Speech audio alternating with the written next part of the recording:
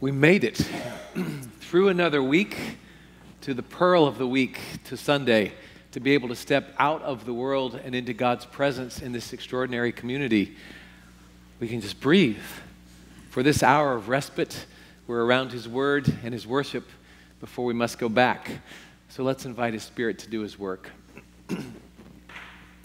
Lord Jesus, we thank you that you've called us here. We thank you that you roused us from underneath our covers and got us up on a still early morning.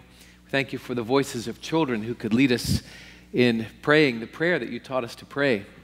And thank you for uh, these moments apart from the busyness of life to receive your word. Be pleased now to speak it. Would you ignite by the power of your Holy Spirit our minds and our hearts? Let your word go forth in its power.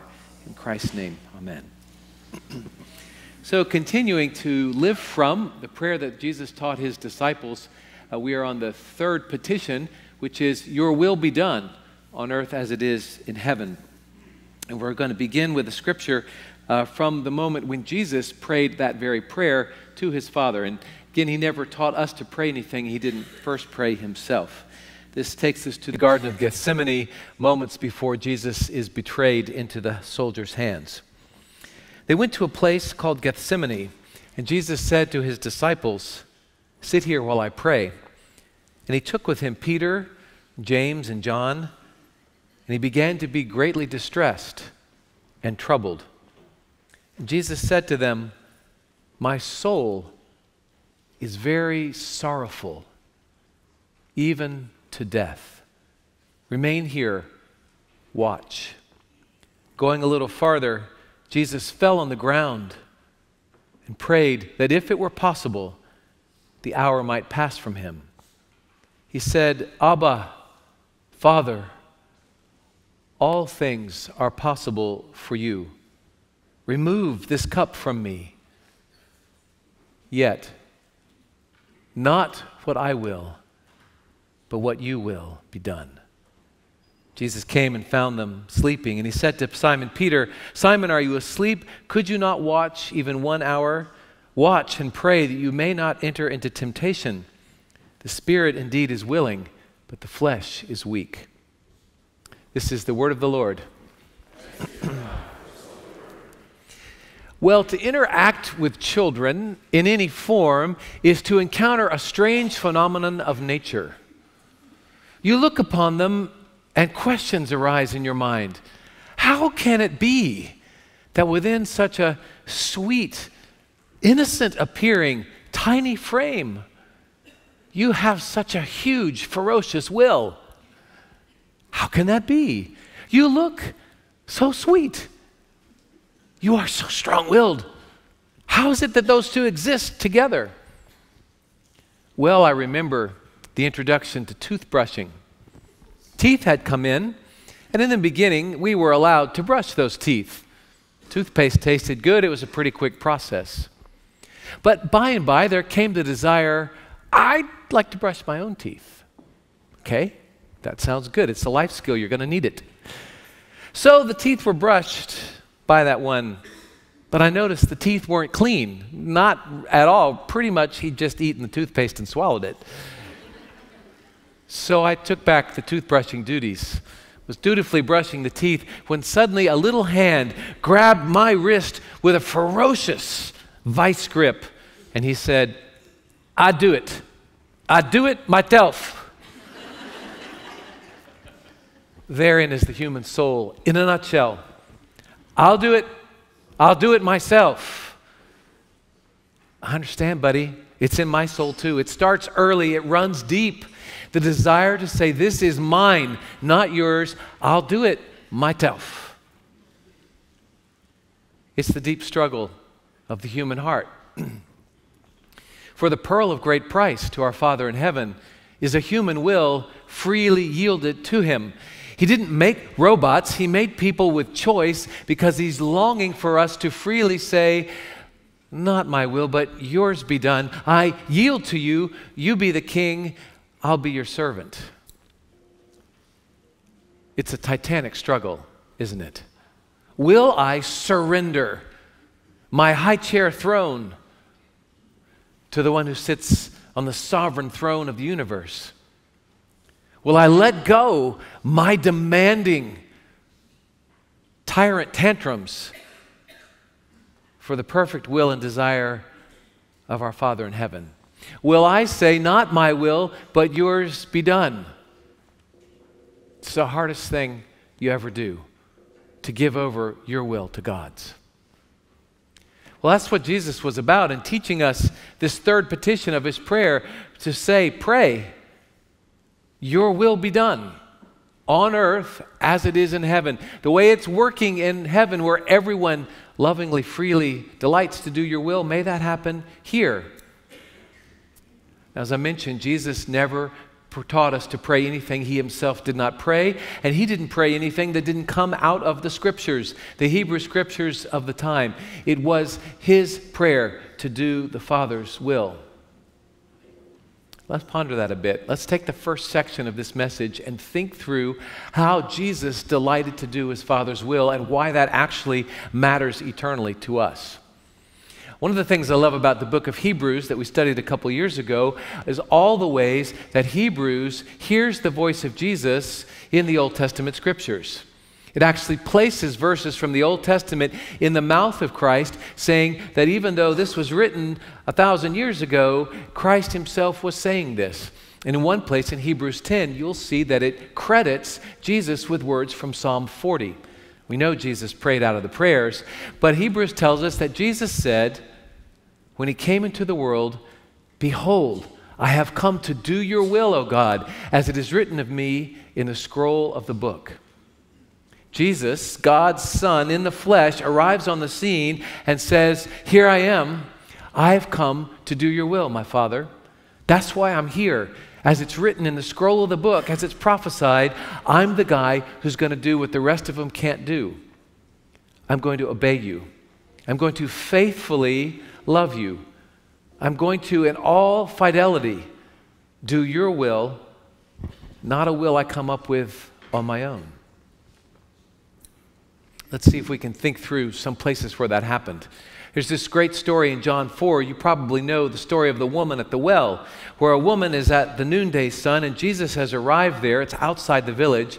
He sends his disciples into town to get some food for them. He stays and asks the woman for a drink. And they start talking, and he reminds her that she's had five husbands, and the man she lives with is not her husband. A scandal then, really almost a scandal even now. But in the course of revealing her own life to herself, Jesus offers her living water, transforms her life. She runs back to the village and says, Could this be the Messiah? It's a glorious encounter. But the second half of the story we don't usually get to. The disciples come back to the well, they have food. Jesus says, Ah, never mind. I have food you don't know about. And the disciples, with all spiritual dumbness, say, Did someone else bring him food?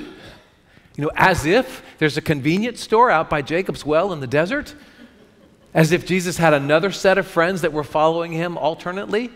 Where did he get this food from? And then Jesus just blows them away. He says, My food is to do the will of the Father who sent me. Thanks for going all that way to get me something to eat.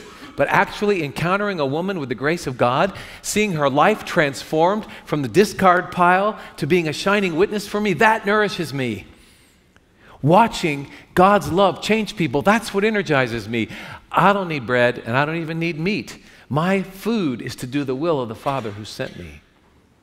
It's a theme in John's gospel. John 5, John 6, over and over he says, For I have come down from heaven, not to do my own will, but to do the will of the one who sent me. That's why I'm here. I am, as a man, going to do what no one else has done before. I'm going to do his will my whole life and change everything. Well, you know, if you ever set out to do God's will, you don't just get to do that without obstacles. You don't just say, hey, I'm going to be God's person now, and everything just goes. Of course not. There are powers arrayed against us. Temptation must come. And for Jesus, supremely it came in the passage we read from the Garden of Gethsemane.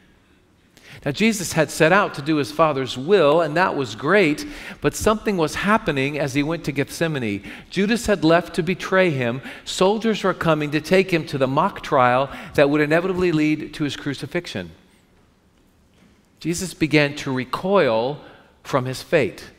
He didn't want to do what he had to do. Well, for obvious reasons, they didn't crucify people in private places. They nailed them on crosses in public places as a deterrent. You defy Rome, this is what happens. He's going to be up here for hours, maybe days, nailed to some wood until he asphyxiates.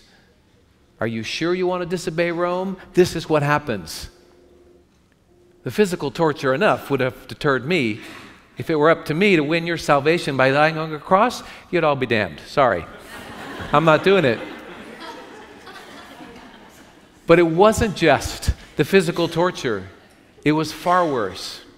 Jesus was hitting a crossroads, an intersection between the wrath of man against God, our God hatred, our rebellion. He was being betrayed, denied, handed over to be mocked, scourged, crucified. All the accumulated wrath of sin in the human heart was going to pile on him. That was the one side of it. That too was bad, but not as bad as the other side, for he was becoming the wrath bearer for his Father. He was taking upon himself God's holy wrath against our sinful, angry rebellion. He was standing in for us for the punishment due our sins. And it meant that he who had ever been pleasing to his Father was becoming revolting.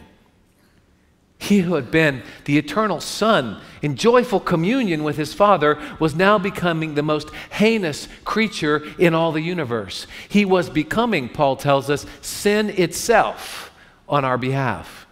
He was taking the wrath of man against God and the wrath of God against our sin due to us, and they were converging on him. He saw it coming and said, I don't want to do it. The scripture tells stories so sparely, but there is worlds of emotion in this. He falls to his face for the weight of it. He says, My soul is sorrowful unto death. He whom I live to please will for these moments look upon me with displeasure.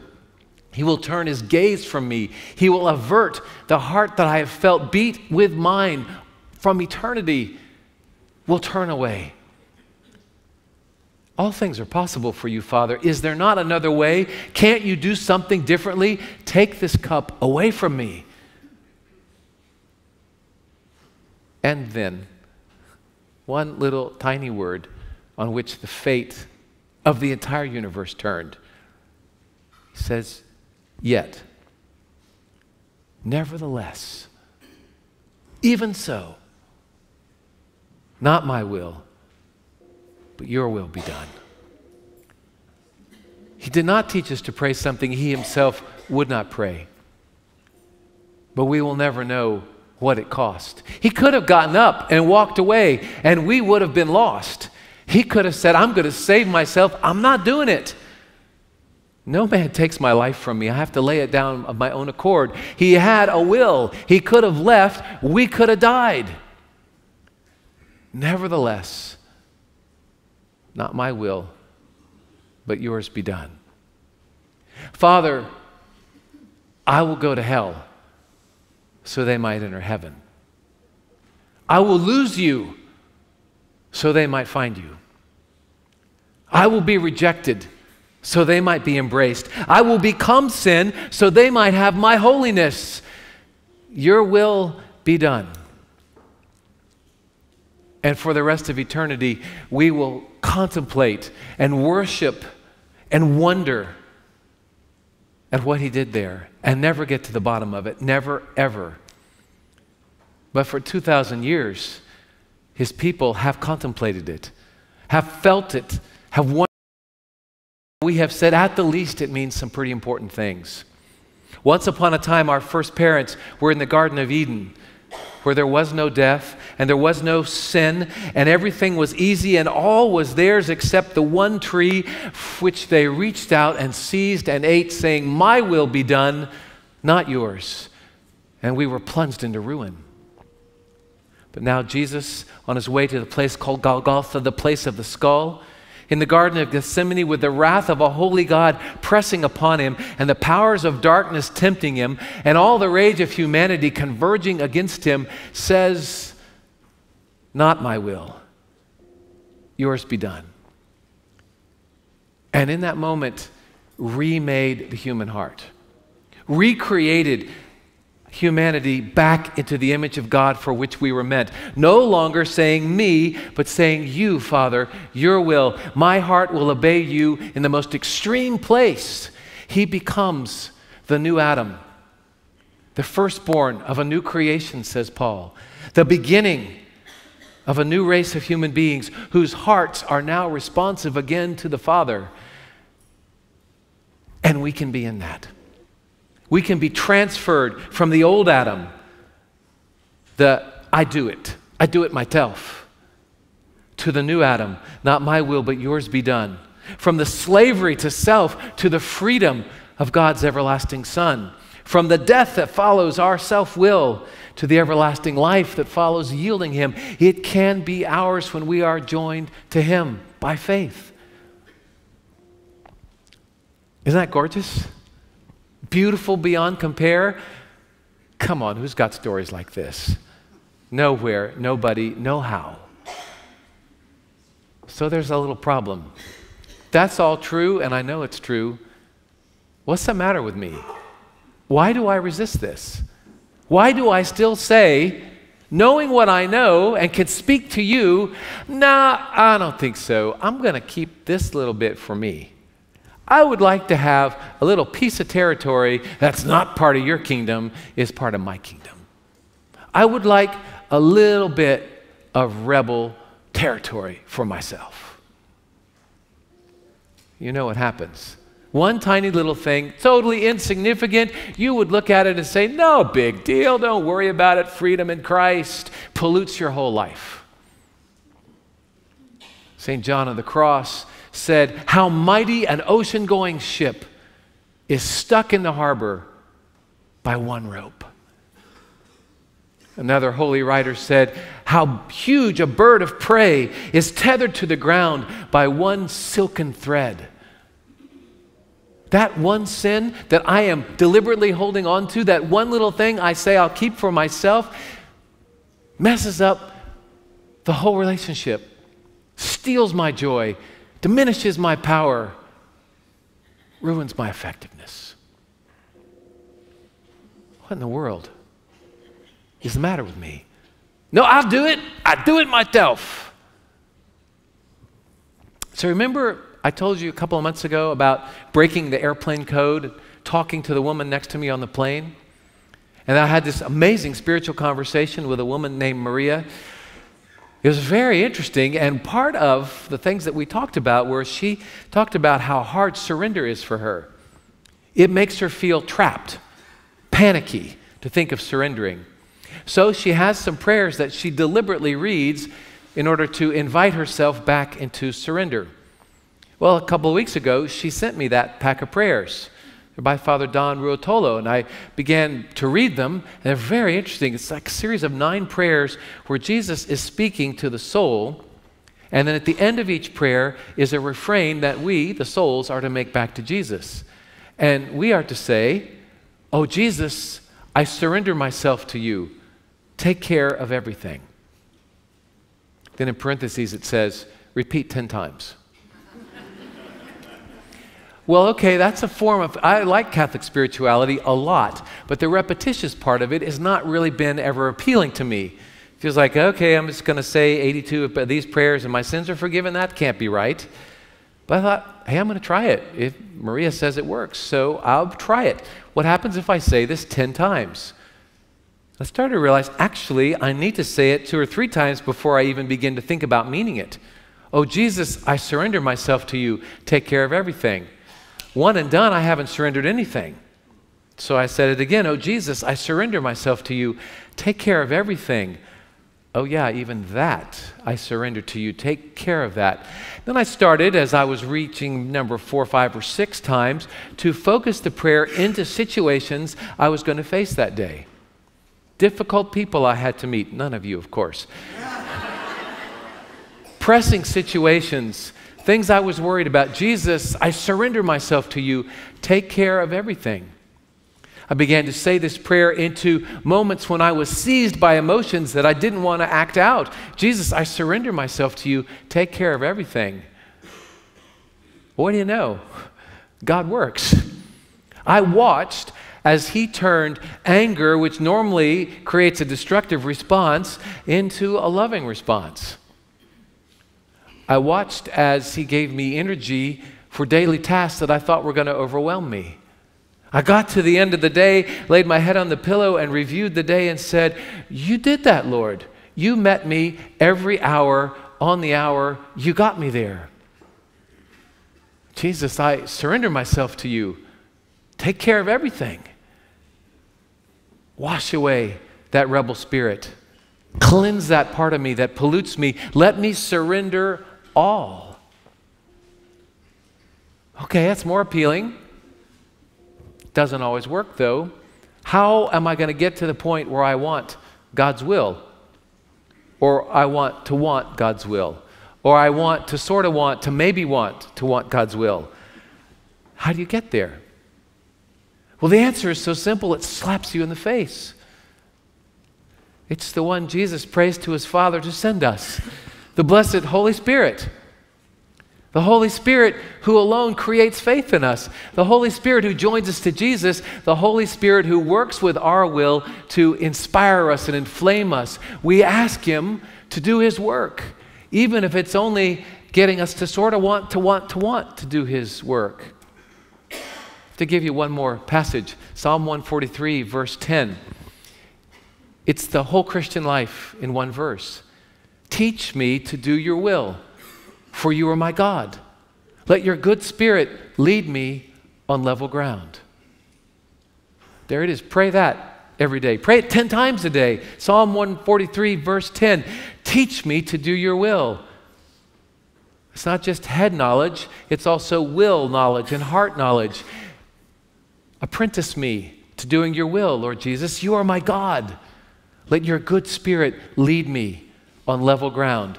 Make the rough ground smooth that I might follow you without hindrance. Teach me to do your will, O God. Let your good spirit lead me on level ground. We can begin to see the wisdom and the beauty in Jesus' prayer. Your will be done, not mine, on earth as it is in heaven.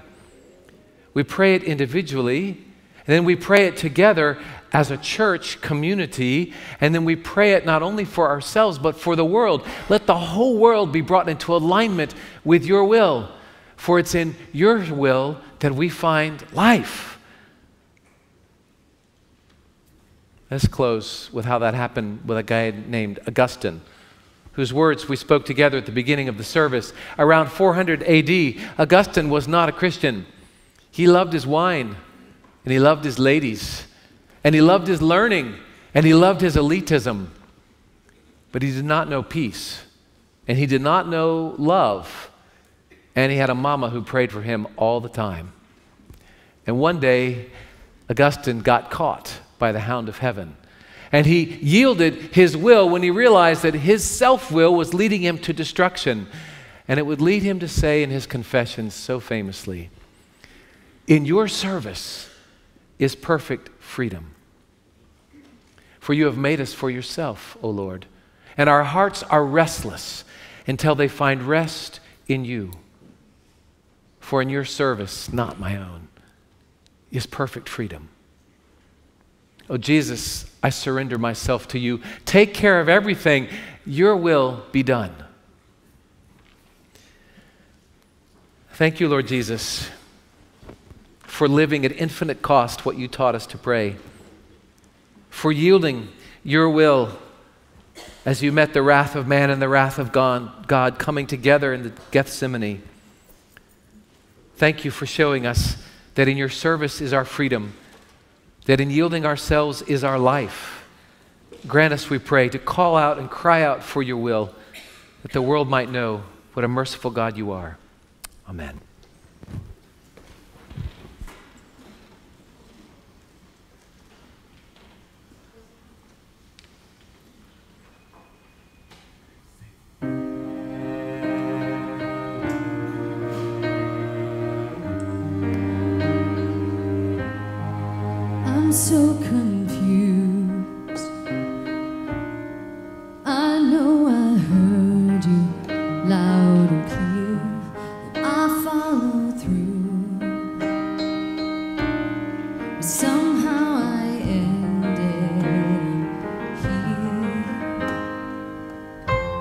Wanna